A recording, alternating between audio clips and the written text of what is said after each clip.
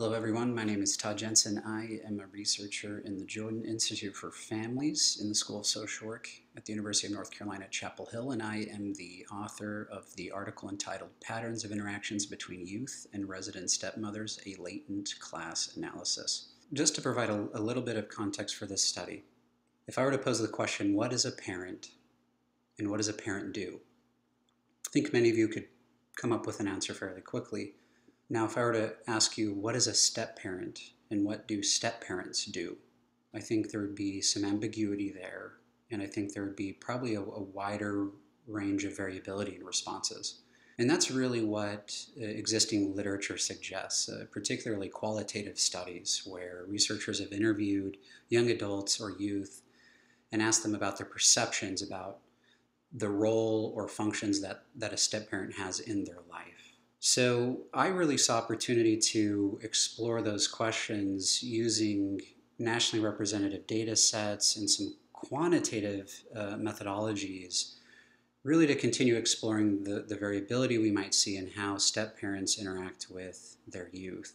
And so that's really what I've done here with this study, um, really zooming in on youth who are residing with their fathers and resident stepmothers. I wanted to look at whether or not there were unique patterns of interaction that youth reported having with their resident stepmothers. So, using data from the National Longitudinal Study of Adolescent to Adult Health, I looked at data from Wave 1, which is admittedly a bit, a bit outdated but has uh, other advantages.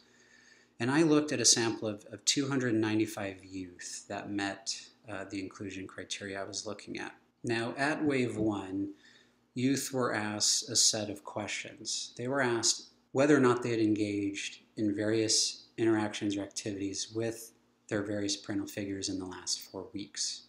And these interactions or activities ranged across several domains, including recreational activities or, or interactions, more personal communication interactions, more academically oriented interactions, and more disciplinary interactions. So using a method called latent class analysis, I was able to identify four distinct patterns of stepmother youth interaction that I labeled versatile and involved, casually connected, academically oriented, and inactive. So after identifying these four distinct patterns of youth stepmother interaction, I looked at uh, whether or not pattern membership was associated with the quality of various relationships youth had with their various parental figures, their fathers, resident stepmothers, and non resident mothers. I looked at indicators of youth well being in the form of self esteem and depression and, and, delinquent behavior.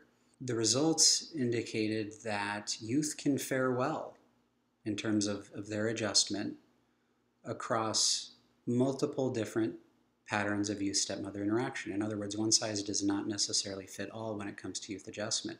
Same story for step family relationship quality. Relationships can seemingly fare well across multiple patterns. The one exception was perhaps not, not surprisingly the inactive pattern. So, patterns marked by disengagement between youth and resident stepmothers were associated with lower step family relationship quality lower levels of youth adjustment.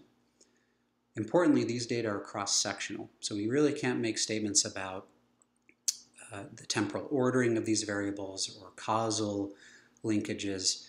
We simply can note whether or not there appear to be associations, and we can posit that perhaps these are bidirectional. In terms of practical implications, I, I think the, the findings from this study uh, re-emphasize something that existing literature has been pointing out that step parents can take on a variety of different roles and functions in the lives of their stepchildren.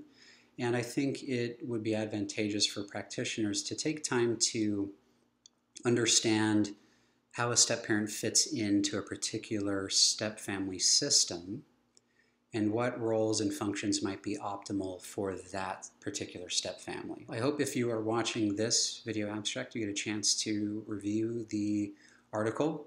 And if you have any questions, please feel free to reach out to me at any time using the contact information in the article. Thank you very much.